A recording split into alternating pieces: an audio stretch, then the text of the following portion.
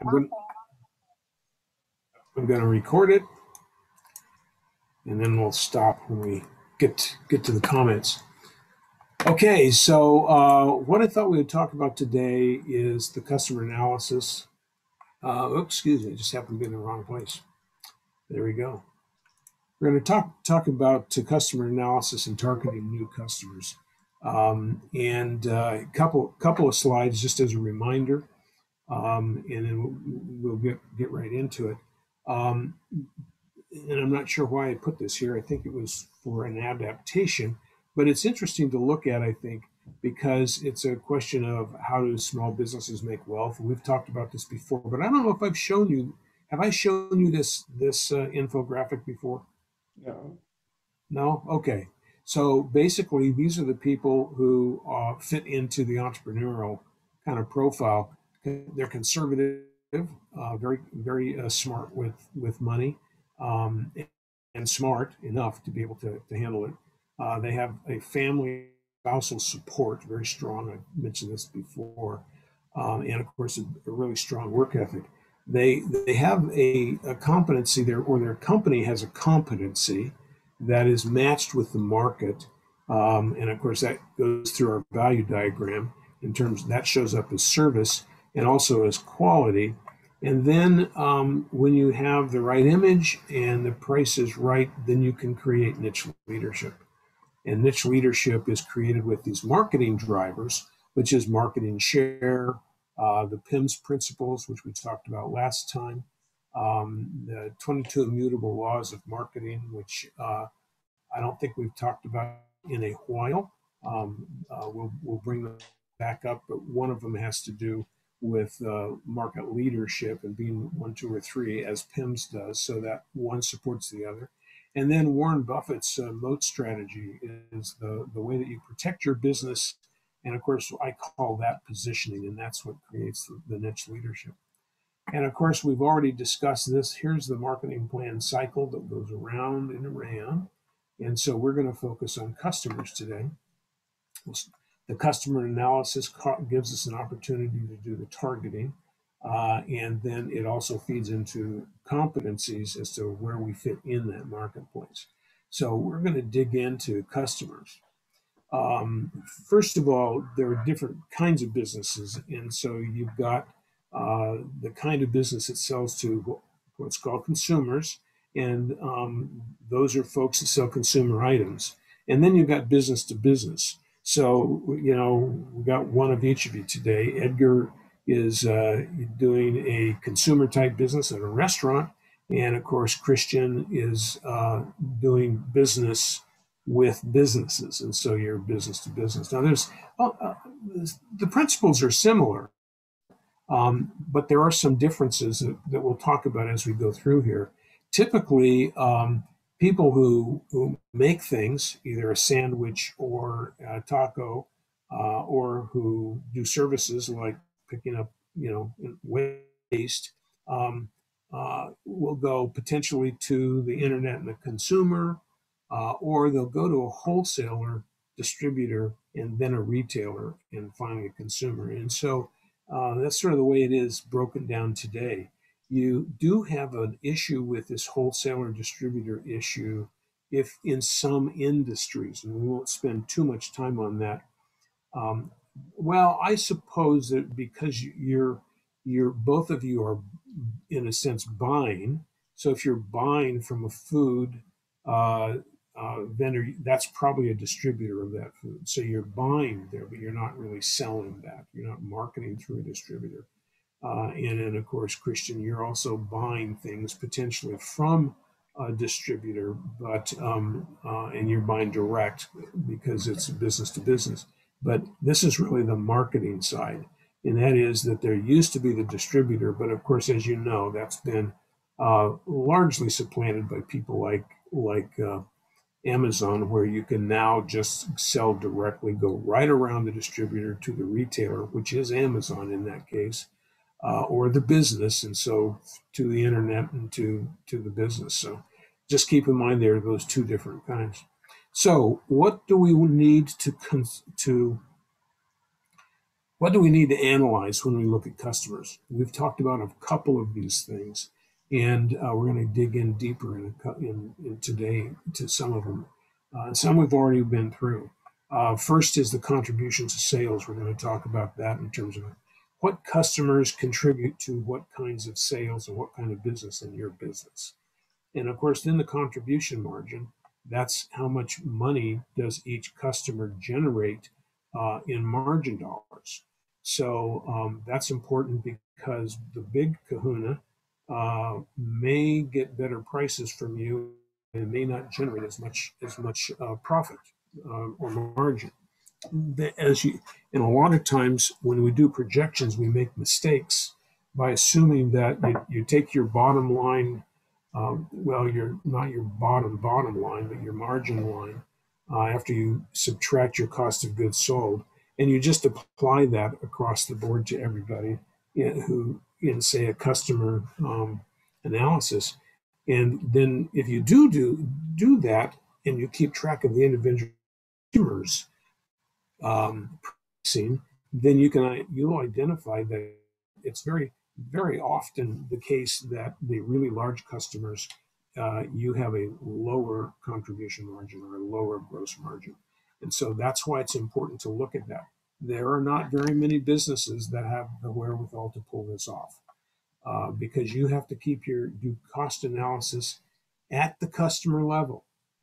And, and unless you do that, you, you can't calculate it. Uh, of course, that's the kind of the reverse of the cost of sales. And so that's uh, well, from an accounting perspective, the cost of sales, but there's also another cost of sales, and that is um, how much does it cost to actually achieve the sale because of the marketing? And that's kind of what I meant in this particular case, and that is that uh, it may be costly to go get a really big customer um, in order to be able to do business. Uh, John used to have to fly to China in order to you know, cl- close deals in order to figure out the cost because he had to manufacture it. So the, the cost to do that is a whole lot different than, you know, taking it off the shelf and, and just, you know, reselling it. Um, the, the cost of delivery or distribution, and, and of course, that depend used to depend on well, how far away were they? Um, was it FOB freight FOB?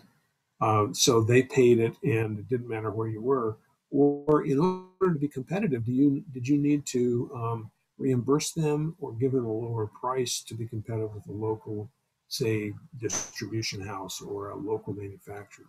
Um, uh, of course, there's business to business, which I've already um, mentioned. That's a little bit different. We take a, we want to know uh, what industries and sub industries are contributing to your overall customer business as well. Because if we don't, then we're not we're, we're not able to identify where that target market really is.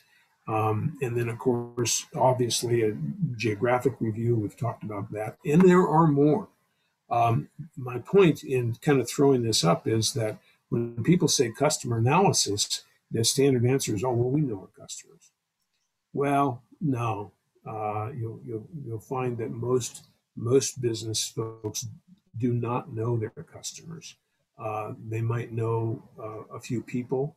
They might, you know, they might think that they know about them. Um, but I can assure you that, you know, you may understand the kind of business you're doing with a customer. But number one, you don't necessarily know uh, the percentage of, say, the sub industry that's contributing to your business.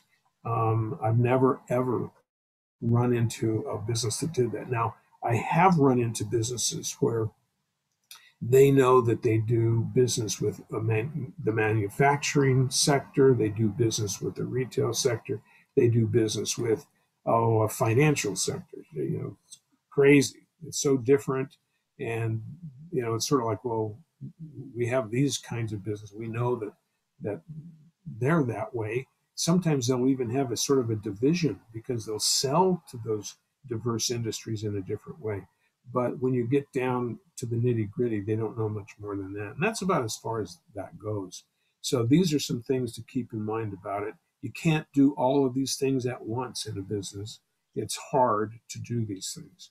Uh, and the reason is is that people don't keep the numbers at the proper uh, detail level in order to be able to come up with these numbers.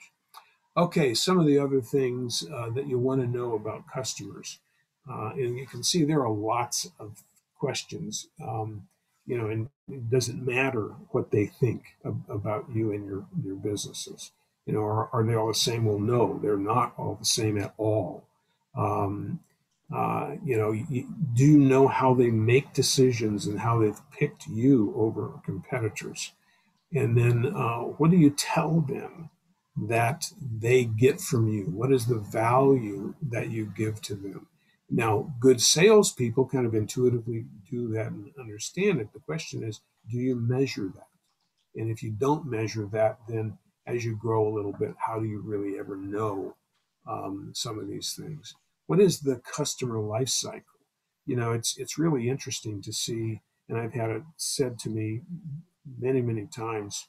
Um, uh, well, you know, it's about the same. We do the same amount of business each each year or each month, and then you take it and you spread it all out and you break it out by industry or by customer type, and then you find out no, no, there's seasonality to almost every one of these things. Um, putting putting um, putting everybody in the same bucket rarely works in terms of understanding them as a whole. Uh, it's like averages never work and you've heard me use use this uh, example before, but um, uh, you you know you're you're on a scout troop. You've got you know three foot tall scouts. You see there's a, a troop next to you, and you say to the scoutmaster, um, uh, "How how what, what's the average depth of the stream that we're about to cross?" And he says, "Oh, it's it's only two feet deep."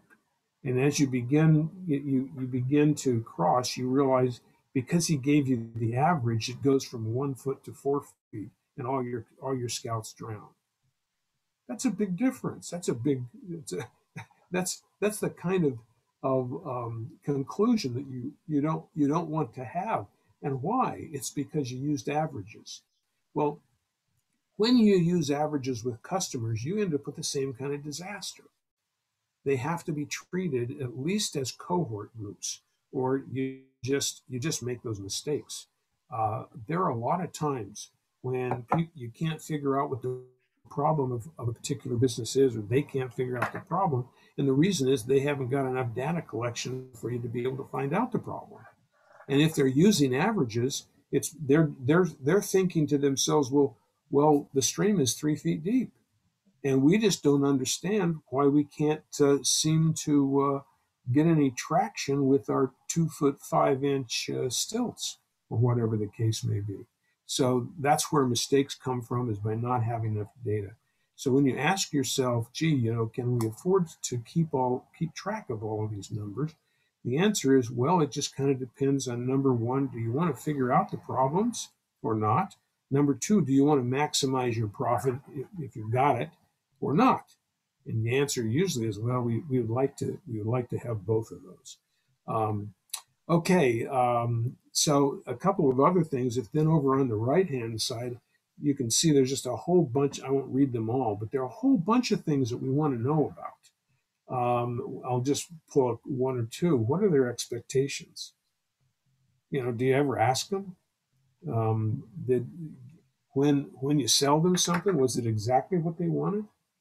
It's sort of like you know an exit survey. You, you use some software uh, and uh, you're roused bound in with some something, and then you you're ready to leave, and then it pops up and it says, "Tell us about your experience." They want to know, you know, did you find what you were looking for, and what were your expectations? So those are the kinds of things that we want to know, and then we want to set up feedback systems that deliver that information so that we can figure it out. Okay, so we're going to just sort of jump into something sort of sort of fun. I've done this. Uh, a couple of you may have seen some of these, but what this uh, what this is is just simply two spreadsheets, and this is how how we are going to take a look at the uh, Pareto principle or the 80-20 rule for customers. So you have to set up your data and you need to be able to have a certain amount of information.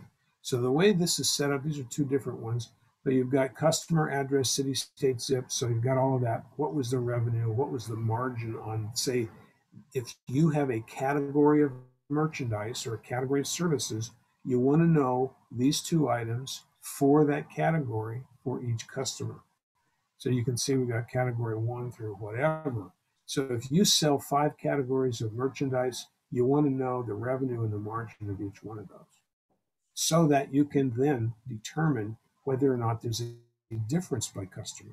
And then, of course, if you're putting in the type of customer, as we just talked about, you may have different industries, you may have different um, um, lifestyle types, whatever type of customer you want to keep a sheet on this. Actually, there should be a column. You'd sort on that, and then you'd total them out, and you would see how they're different. So another another way I like to look at it, and I'm going to give you an example on this, is to be able to take a look at how much revenue your customers um, deliver to you based on the size of the of the revenue. So again, customer address, city, state, or just customer. But you want here revenue, and then you look at the cumulative revenue, and cumulative is, you know, row one, two, three, four, five, six then you calculate the percentage of the revenue of this of the revenue, and then the percentage of the cumulative revenue that should go down. And so when you do that, you end up with something like this. So here we've got the customer, here we have them, and they're sorted by the largest revenue. So the first thing we do is we build a very simple spreadsheet. We just we just copy the top line over to the first line we calculate the percentage of that, and then we, uh, we copy that number over here. The second line, though, is different from there on down because we're going to take this revenue, um, the top line and the second line, and add them together. And then we're going to calculate the percentage of the total of the two. And then we're going to add those as we go down this line so that we end up uh, determining the whole thing. So you can see here we've got revenue. Here's the, uh, the cumulative starting to go down this one. That's 20% of the business. So there's the percentage of the, that revenue. And it's 20% of the total revenue. So this is a percent of this um, column, and this is a percent of this column. As we do that, we see that this the cumulative revenue goes up.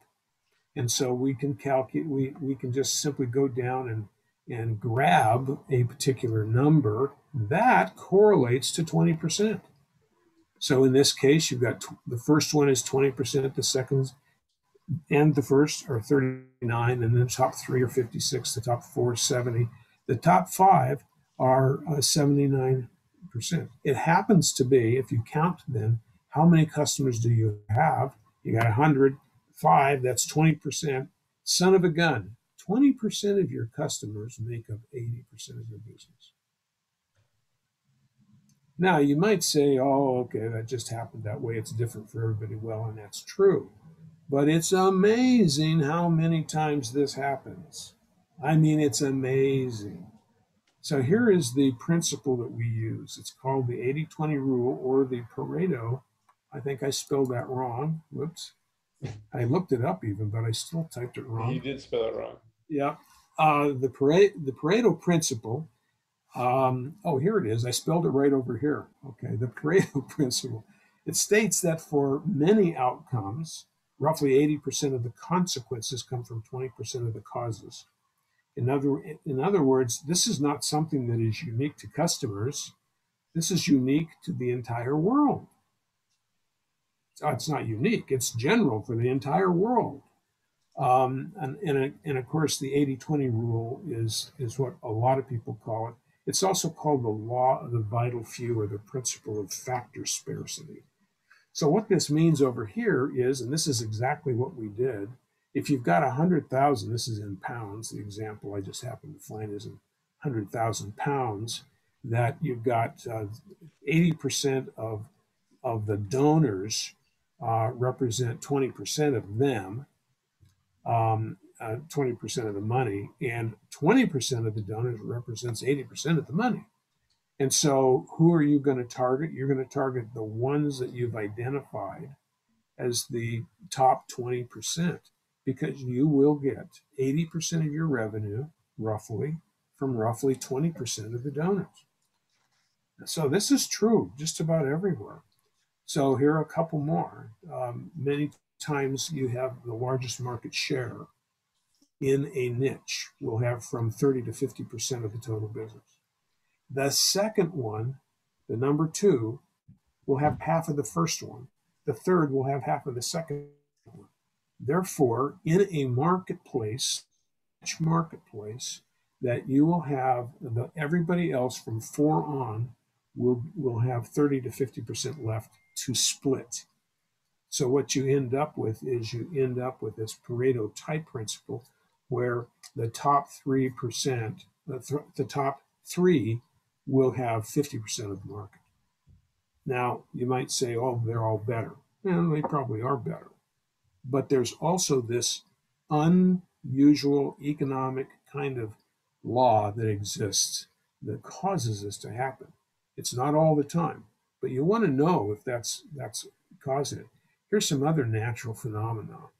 15% of all the players last year in, in a sport, I think this was baseball, produced 85% of the wins. The other 85% of the players created 15% of the wins. 20% of the ha- of hazards account for 80% of the injuries. And therefore, if you are an insurance company, you're going to take a look at those 20 top 20%. So you see how if you understand this principle, it helps you focus on what you should be doing. Of 100 papers that are written, there only 25% of, uh, say, of 100 papers that are written by 25 people, five authors will have contributed half of the papers. So when we start looking at um, content development on websites, you know, and we've I've talked about that with with several of you. I know that this is the case because I know that that um, Pareto principle, or or in this case, Price's law, which is a very similar one. I know that that exists, and I know that only about 20, 25 percent of the people will do the vast majority of the work. So apply this to Jordan Peterson. Applied this to musicians. Uh, he was he was fairly harsh about it, as a matter of fact. And he was saying that you know those those folks who are um, uh, who who like music and who think that they are going to make a living at it are most likely um, completely disjointed from reality. And why is that? Because now this is from memory. This is about right. Something like 50% of all the music is written by um, just 5% of the, of the population. Of the listening, if you listen to it, just one tenth of 1% of the writers create well over 50% of the listening time. In other words, if you're not in that one tenth of 1%, nobody will listen to your music. Almost nobody. And therefore, that's why he says if you happen to be a musician or very creative, you need to figure out some way to make a living because the odds are so far against, so, so highly against you making any money that it's, it's not worth it. You have to be in the top one tenth of 1% in order to be successful. Now, if you're a plumber, that's a lot different. You probably only have to be, uh, probably 80% of the plumbers can make a living. And of course, that has to do with supply and demand. But you see how this Pareto principle really rolls through almost everything we do. And it can be and, and should be applied to business particularly where revenue and customer analysis is concerned. And you can do, look at your competitors sort of in, in the same way. Um, Finally, let's apply it to money. Everybody is upset about how how the rich people have all the money. And in fact, if we look at this, uh, yes, the richest 20% have 82% of the money. Does this look strange to you after having seen the Pareto principle? No, it's normal. It's like everything else in life. Well, and then you go all the way down, the poorest 20% only have 1.4%. So it gets pretty, pretty bad on the bottom side, doesn't it? Why is that? Well, I don't know. You know, I, I, we've got a whole country, a whole world, um, and a whole lot of Marxists who are really trying to change this.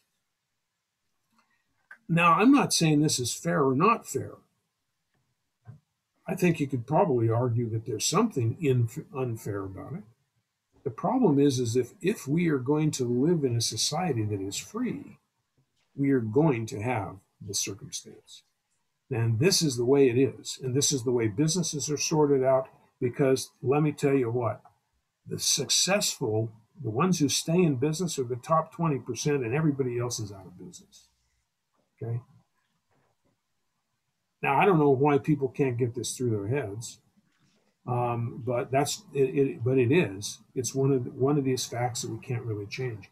The only thing you could do to change the natural side is to impose an unnatural side. In other words, government will have to change this. Government will have to take it from the top and give it to the bottom in order to, to change what has been a natural phenomenon forever. And it, forget about money, just talk about the people who produce things. You know, of, of your employees, you're going to find that the top 10% of your employers, employees uh, well, let's say the top 20% of your employees are going to do 80% of the, the valuable work. They all, they all get 40 hours of pay, but the ones who are really good are the ones who are generating most of the work. Now, the question is do you pay them in a commensurate fashion? That's another whole thing. Um, I'm sure John will be interested in having that conversation. But when we talk about, you know, paying people for what they're worth, there's a whole new paradigm out there that we could consider. Okay, so when we take a look at these characteristics of the Pareto, when it's applied, we're going to go back now to customers. We've got, we've got, we've looked at our customers. We've realized that um, uh, there's some ratio in there where some small percentage of customers are generating some much larger percentage of the total business. And I have I've discovered after doing this many many times for many different kinds of businesses that you do have a range. Most of the time it's right here 80 20. I would say you're with you know 74 5 6 7 8 um, uh, most of the time or maybe 82% but in a, in a narrow range that about 80% of the time you fit right into this category but occasionally you have people who have five employees or five customers generating 95% of their business. What does this mean? Well, it means there's an extreme risk of revenue interruption because out of the top five, one or two leave, and you've lost 30 or 40% of your business. This is a dangerous place to be in. And if you have a customer ratio like this, you're in danger and you need to change that. Something's got to change. These big gorillas, as they're many times called, can can once they realize they've sort of got you um, by the short hairs, then um, they can really push hard to ask for more freebie stuff or lower prices. And if you can't afford to lose them, you'll have to buckle under in some way.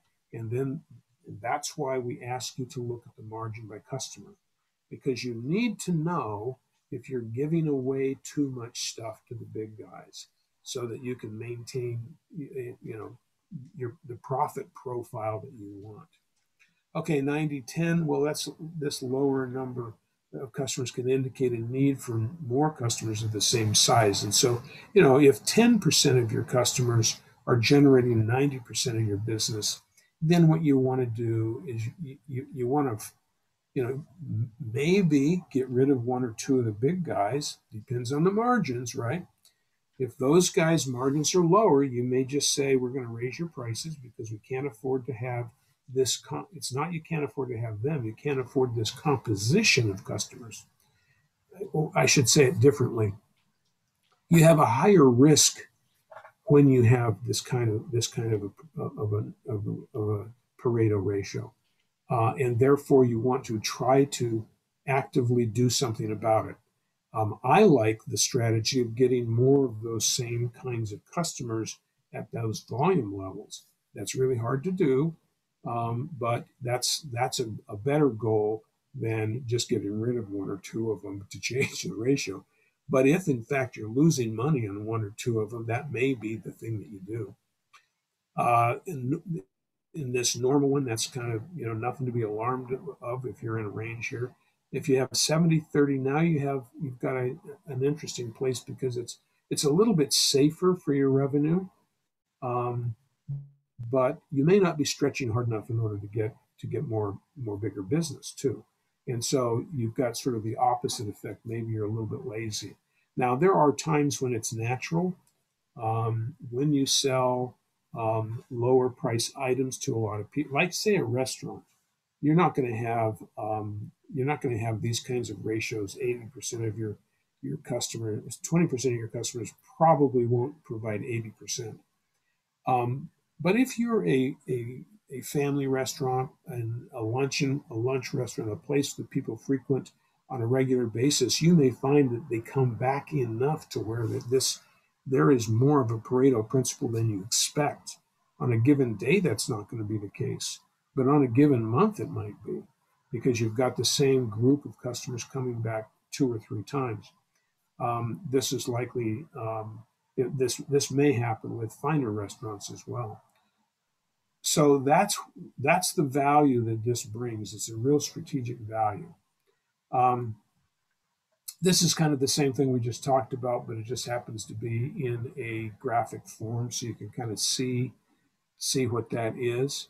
Uh, this is a similar thing, except we've we've added uh, we've added potential. This is a hypothetical profit. You may not be making money with the gorillas. Uh, you may be just a little out of balance, but but over here you may be making a lot of money. By the way, this is not percentage of revenue. That's that's the number of customers. So you can kind of ignore that. Okay, so um, let's see how our time is doing. Okay, so let's see. I think what I'm going to do here is um, uh, unlike most times when I just go right up to the end. I think I want to open it up because we've we've kind of had this. I think it's a reasonably large topic and something that uh, is is a good edge. So let's just open it up and have a conversation, um, just to, in, until we run out of things to talk about, or we're at 1.30. So um, Ed, good to see you. Uh, let's see, Edgar, did you raise your hand? I did actually earlier. I had a a question when you when you were talking about five five um your high executive employees that uh kind of once they become like 90% 90% of your productivity um if you if you look at a business could you say that that that person could also be the the owner slash employee of his own company that without him the company can fall apart. And if you don't catch that on time you won't know that until that person is disabled or something happens. Uh, sure. I, you, you could certainly include include the owner in, in a small especially a smaller company. Yeah. But i think i think this is something that's overlooked and um, um,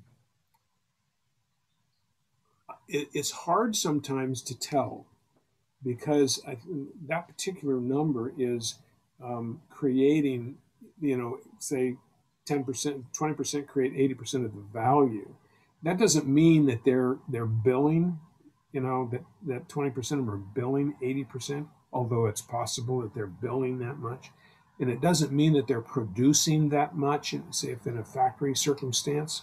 Um, it's more like they contribute that much value to the entire company because they are a, um, a supervisor.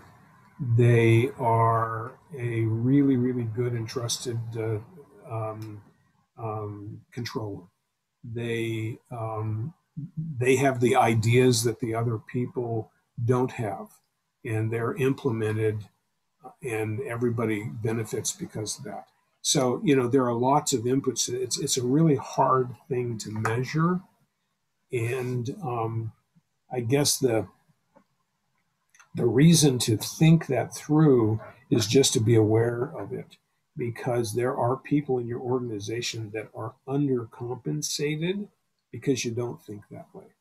I mean, we tend we tend to, you know, small business people tend to say, well, gee, you know, that job is is worth you know thirty bucks an hour, and somebody's really good at it, so I'll pay him 31, 32. When really you may find that somebody ought to be getting sixty dollars, you know, if they're really contributing that much. And in this environment in particular, boy, you've got to identify the the folks that are valuable and make sure that they are compensated so they don't get stolen. So, John, another... Ed, you guys have any any experience with that? Well, it's not only compensation; it's um, treating them with respect and including them as part of the team. I just got off a conversation with someone who's a very good financial person, but the owner, she doesn't feel the owner treats her with respect and um, doesn't matter how much he pays her um, she doesn't feel like uh, she's fully engaged in the company and doing what she's supposed to do. So um, including people and making them feel like they're part of the team is really important.